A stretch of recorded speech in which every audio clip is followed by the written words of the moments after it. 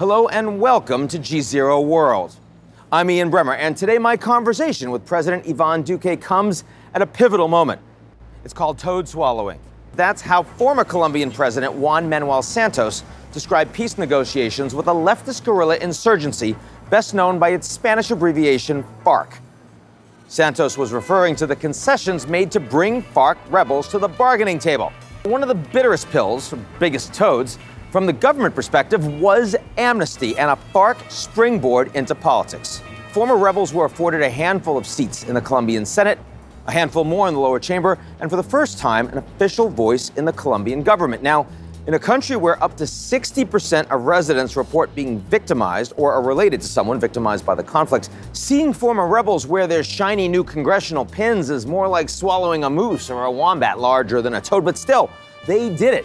After five decades, a quarter million dead on both sides, and a drug trade that gave guerrilla fighters an endless supply of cash, the government under Santos decided they had enough. No matter how many battlefield victories he could rack up, absolute victory against the FARC was not in the cards. So he made his concessions for peace.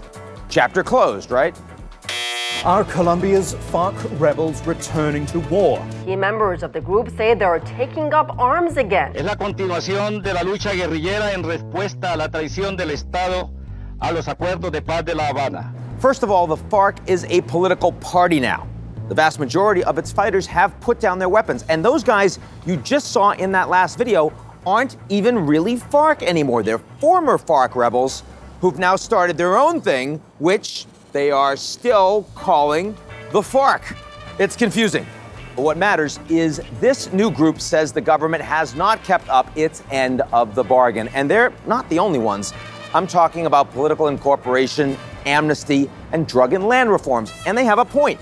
After three years, about a third of the peace deal's 578 provisions still haven't been put in place. Another third have been implemented only partially, particularly when it comes to land reform. And for a Marxist group founded on a desire to defend landless peasants, that's more than just a little toad to swallow. Pero el Estado no ha cumplido ni con la más importante de sus obligaciones, que es garantizar la vida de sus ciudadanos. President Duque was elected on a Get Tough campaign to revamp the old peace accord. And his government says that grainy YouTube video you just saw probably wasn't even filmed in Colombia, but rather across the border in Venezuela. And if that's true, it would support accusations that Venezuelan President Nicolas Maduro is involved. That's hardly a stretch. For decades, Venezuela provided the old FARC a safe haven and has since sheltered other Colombian cartels and rebel groups in exchange for a bit of muscle along the border. But the Venezuelan economy is collapsing.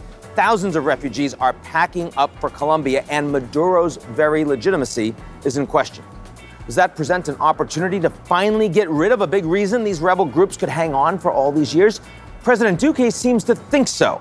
On the sidelines of this year's United Nations General Assembly, he called for coordinated international sanctions, put the nail in the coffin of the Maduro government. But I'll let him explain for himself. Please welcome my featured guest, Colombian President Ivan Duque.